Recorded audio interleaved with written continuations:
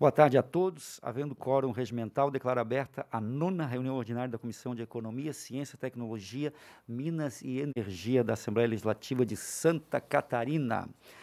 É, inicialmente, coloco em discussão as atas de número 7 e 8 da sétima e oitava reunião ordinárias, previamente entregues aos gabinetes.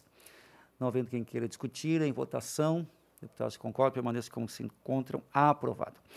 Deputados, antes de vermos a relatoria dos projetos, nós vamos ao expediente, temos alguns ofícios. Eu vou pedir licença aqui para tirar a máscara. Está todo mundo aqui a uns dois metros de distância. Estou sozinho aqui como deputado na sala das reuniões e os demais estão online. Com licença.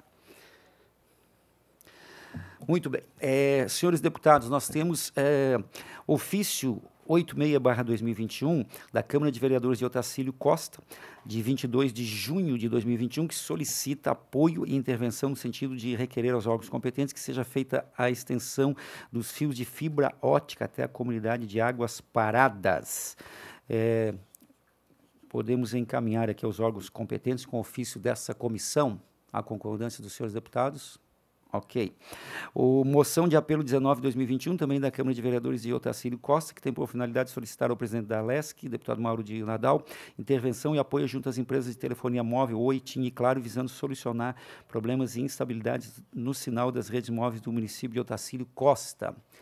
Embora não seja algo estadual, mas eu acho que não custa encaminharmos ofício também dessa comissão, nos somando à demanda dos vereadores. Senhores deputados concordam? Permaneça como se encontra. Aprovado. Ofício 365-2021, Câmara, de, Câmara Municipal de Xanxerê, de 6 de julho de 2021. Eh, moção de apelo 55-2021, apelo ao governador de Estado, presidente da Celeste, e secretário de Agricultura de Santa Catarina, para autorizar o Estado de Santa Catarina, através de lei ou decreto, que o programa Celesc Rural destine recursos para a distribuidora DCLT aplicar na melhoria da rede de transmissão de energia no meio rural de Xanxerê. Da mesma forma, ofício ao Governo do Estado, à Secretaria de Agricultura e ao presidente da Celesc. Deputados concordam? Permaneçam como se encontram. Aprovado.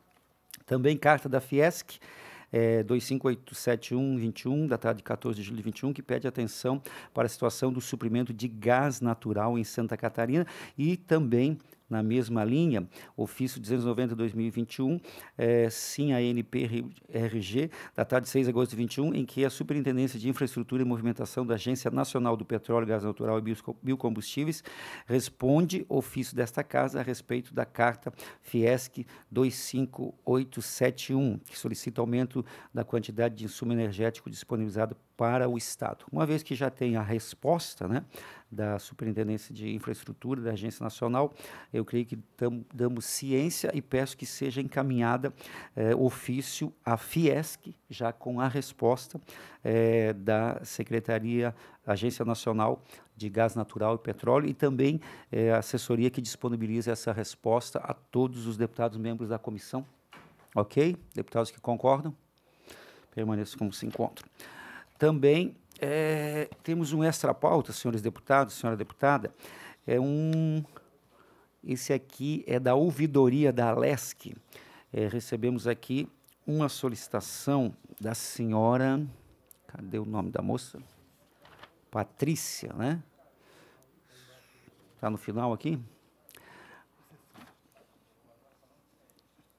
Ok. É, do pra, Patrícia Dias, do bairro Boa Vista, na cidade de Joinville. Em resumo, senhores deputados, senhora deputada, a comunidade do bairro Boa Vista é, não é favorável à instalação da subestação da Celesc nessa localidade. Eu estive lá em Joinville e tenho conversado por WhatsApp com a Patrícia, com alguns moradores do entorno, e teve uma audiência pública também, ou uma reunião ampliada, não sei qual o termo correto, é, há uns 15 dias, mais ou menos, na Câmara de Joinville, eu conversei com o presidente da, da audiência da reunião, que é o vereador Ascendino, Ascendino Batista, pastor, inclusive, da Igreja Quadrangular, e houve essa reunião e a comunidade enviamos também um assessor da nossa assessoria aqui de gabinete para participar, O deputado Felipe Estevão também já fez uma indicação com relação a isso.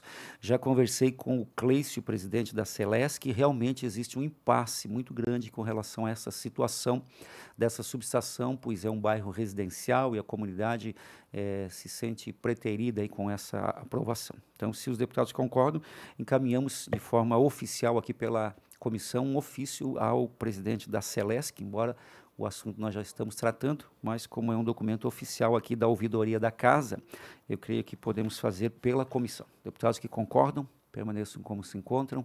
Aprovado. Senhores deputados, nós temos alguns uh, projetos, mas antes temos um requerimento para a votação de Vossas Excelências. Requerimento de autoria do deputado Gessé Lopes, que solicita a realização de uma audiência pública a fim de debater a necessidade de revisão da Lei Estadual 18.099-21, que proíbe a cobrança de taxa para remarcação em eventos em decorrência da crise da Covid-19. Sei que é um tema tanto quanto polêmico, mas cabe a essa comissão deliberar. Então, o requerimento do deputado Gessé Lopes é para que faça-se uma audiência no âmbito desta comissão para, eh, segundo o requerimento, para debater a necessidade de revisão dessa lei que proíbe a cobrança de taxa para remarcação de eventos em decorrência da Covid-19. Coloco em discussão o requerimento. Não havendo quem queira discutir, coloco em votação. Senhores deputados que concordam que realizemos nesta comissão essa audiência pública, permaneçam como se encontram. Eu gostaria de ver a tela aqui, porque eu só estou enxergando aqui da deputada Luciane Carminati. Está tudo normal? Ninguém se manifestou? Deputado Bruno Souza, concorda? Positivo e operante? Ok, então aprovado por unanimidade. Muito bem. É, na sequência, nós temos os projetos de relatoria. É, indago dos senhores deputados se todos estão aptos para relatar. Relatores, deputado Bruno Souza, Jair Mioto e João Amin. Temos vários projetos para relatar.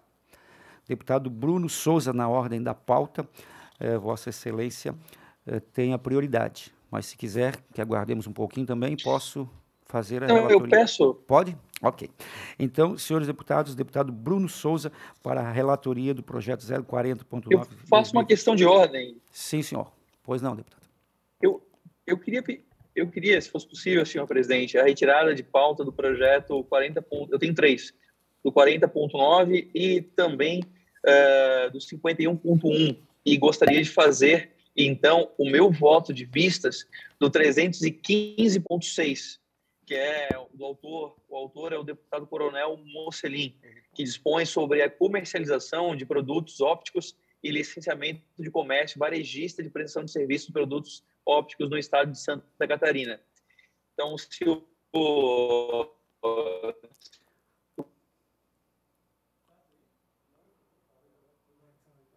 Conexão não está boa.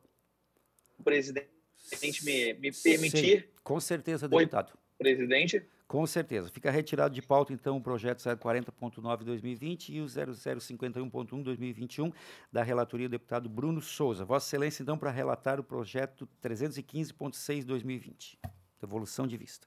Eu faço isso. Na verdade, eu peço apenas uma. É, eu, meu voto de vista é apenas uma diligência externa.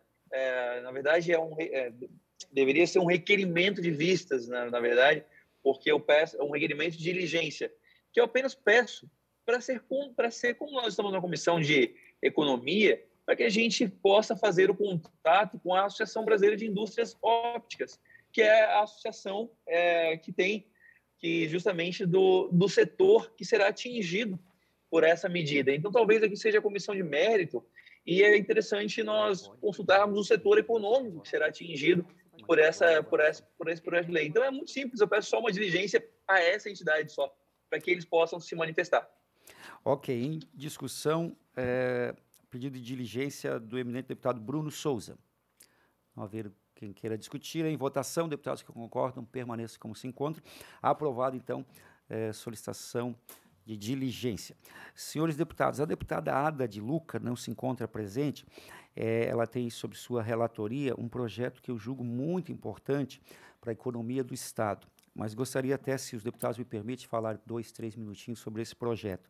É o projeto que dispõe sobre a regulamentação da prática esportiva ele eletrônica no âmbito do, estado, âmbito do Estado de Santa Catarina e adota outras providências. Senhores deputados, é, é muito importante esse projeto para a economia do Estado. Não sei se Vossa Excelência tem acompanhado essa situação dos jogos eletrônicos. Inclusive, nós temos aqui em Santa Catarina, uh, até na cidade de Joinville, nós temos campeões mundiais. E é, é um, uma área que está crescendo muito, que em determinadas situações está gerando mais é, movimentação financeira do que, do que o cinema, do que Hollywood. É algo é, assim é impressionante o que está acontecendo, principalmente a partir da pandemia, com essa indústria, virou uma indústria de jogos eletrônicos. Então, acho que é um projeto muito interessante. Essa casa sai na frente na medida em que a gente já começa a fazer a regulamentação. O projeto que apresentei foi junto com o setor competente aqui no Estado, que é a Federação é, esportiva catarinense de jogos eletrônicos. Então, a deputada Ada de Luca está em viagem, não vai poder fazer a relatoria hoje, mas na próxima reunião eu creio que podemos priorizar também, até pela grande importância na economia do Estado, e o nosso Estado tem uma vocação para TI, para informática, para tecnologia e agora também em jogos eletrônicos. É a nossa praia aqui, realmente, a internet aqui em Santa Catarina é, tem trazido muitos dividendos aí para o nosso Estado. Então, apenas faço essa consideração pela ausência da deputada, então fica para a próxima reunião. É, tenho também para relatar projeto de lei de autoria do deputado Jean Kuhlmann, é, projeto de lei 0136.5/2021, que altera a lei 10501 de 1997, que dispõe sobre as normas de segurança para o funcionamento de estabelecimentos financeiros e da outras providências, para o fim de dispor sobre a instalação de portas eletrônicas de segurança individualizada nos estabelecimentos que menciona.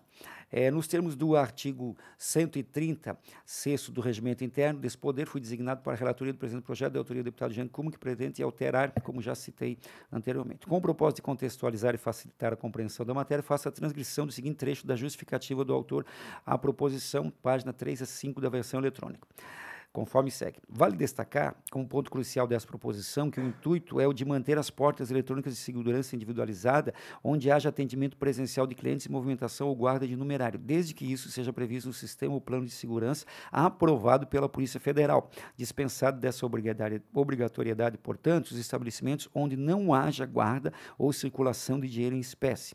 Outro ponto que se busca suprimir da Lei Estadual 10.501 de 1983 é a obrigatoriedade de blindagem dos vidros da das portas.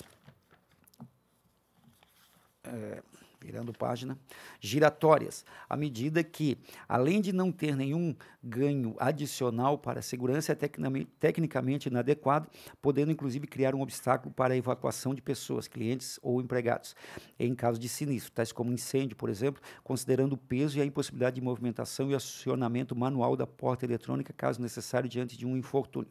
O aumento de peso decorrente da utilização de vidros mais espessos implicará obrigatoriamente na utilização de armações e portas com molduras e suportes de aço em maior quantidade, o que também levará a uma incompatibilidade com os dispositivos eletrônicos de detecção de metais existentes nas portas de segurança. Ainda o manuseio da porta blindada para acesso aos locais de atendimento presencial dos clientes na agência ou posto de serviço bancário será extremamente difícil em função do peso da blindagem, o que poderá ocasionar, ocasionar graves acidentes, em especial os idosos, crianças e pessoas com deficiência. Observa-se que, caso fosse possível, o manuseio da porta e sua utilização em conjunto com o detector de metais seria seria incompatível. Isso porque não há no mercado portas capazes de atender simultaneamente a necessidade de proteção contra impactos, a segurança das pessoas que manuseiam o equipamento e a manutenção da vazão da entrada e saída dos clientes. A matéria foi lida no expediente da sessão plenária dia 28 de abril de 2021, encaminhada à Comissão de Constituição e Justiça em 4 de maio, foi aprovado por unanimidade parecer do relator deputado Milton Obos pela admissibilidade da matéria. Posteriormente, no âmbito da Comissão de Trabalho, Administração e Serviço Público, também por unanimidade, unanimidade, aprovou-se a matéria sobre a relatoria do deputado Júlio Garcia na reunião do dia 4 de agosto de 2021.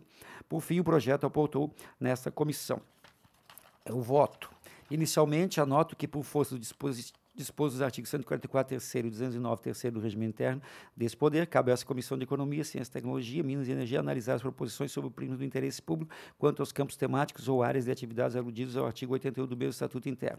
Sob esta ótica, portanto, constato que a proposta em apreciação atende ao interesse público na medida em que, considerando os padrões técnicos das portas de segurança individualizada das instituições a que se refere, busca garantir de forma preventiva a segurança do consumidor, pois os serviços e operações bancárias são essenciais à população e exigem proteção são seus usuários. Tanto exposto no âmbito desse colegiado, reiterando achar-se configurado o interesse coletivo quanto à norma almejada, com fundamento dos artigos 144, 3 209, 3 do Realesc, conduz o voto pela aprovação do projeto de lei 0136.5 2021, conforme aprovado por unanimidade nas comissões de Constituição e Justiça e de Trabalho, Administração e Serviço Público. É o voto, senhores deputados, coloco em discussão.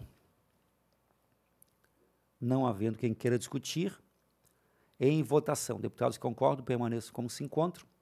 Aprovado. Seguindo a nossa pauta, temos também é, relatoria do deputado João Amin, projeto de lei 0081.7-2021. Deputado João Amin, bem-vindo. Vossa Excelência, com a palavra.